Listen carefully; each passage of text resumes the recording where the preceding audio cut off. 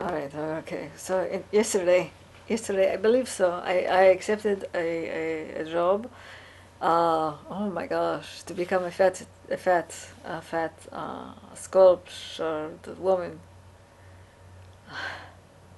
So I'm a little I'm a little uh, distressed uh, because I did not actually negotiate the truth in in the depths of the depths of the clay. Um, like how fat extra um, and can you take off some? Uh, you know do you have to make me me fat extra? And is is there money associated I have to pay to fine tune it? Take off take off take off maybe quarter inch all around that sculpt. Do I have to pay for this? Do I have to pay for that moment because that would be that would be already corruption. I, I'm dealing already with a shyster.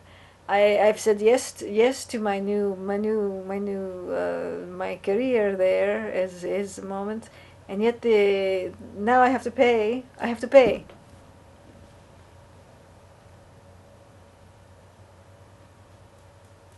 Because perhaps has Picassoism on the fat.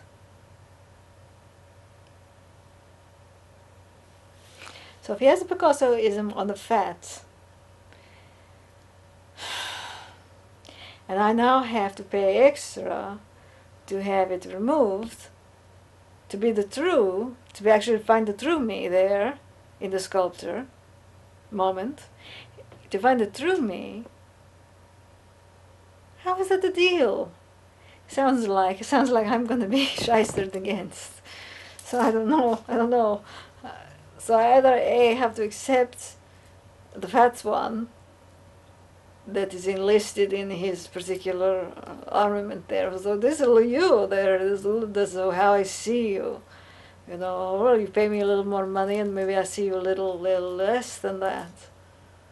You know, what's going on here? I already feel, I already feel it's impossible. I already feel I'm, I'm against a wall here, impossible with this particular artist. I don't believe it's it's going to um, ever be a truism statement.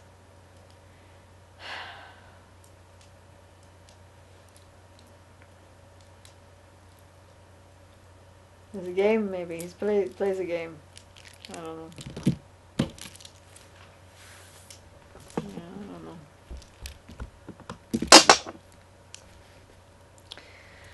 The fat ones.